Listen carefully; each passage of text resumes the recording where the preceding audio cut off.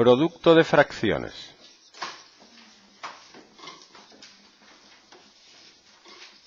Para multiplicar dos fracciones se multiplica numerador por numerador y denominador por denominador. Y luego se simplifica siempre, siempre que se pueda. ¿Vale? Entonces, si yo tengo que hacer 2 tercios por 6 quintos, 2 por 6, 12.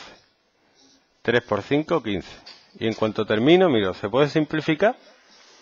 Sí. ¿Entre 2? No. ¿Entre 3? Sí. 12 entre 3, 4.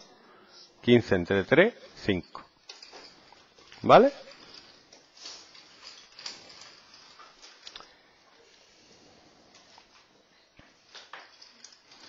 División de fracciones.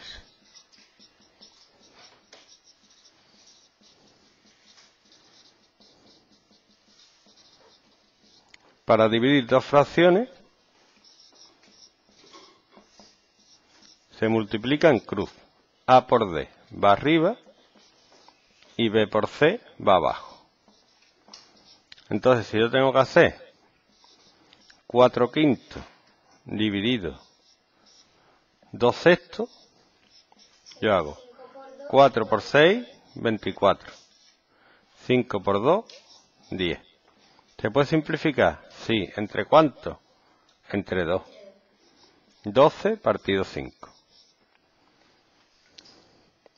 Cuando tengo que multiplicar o dividir un número por una fracción, por ejemplo, 3 por 4 partido 6, esto es como el 3 es una fracción. 3 partido 1. Y se multiplica en línea. Esto sería 3 por 4, 12, partido 1 por 6, 6. Y 12 entre 6 es 2. Y una división. 3 dividido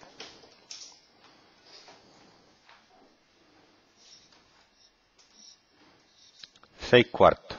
Lo mismo pongo el 1 abajo y hago 3 por 4, 12. 1 por 6, 6. 12 entre 6, 2.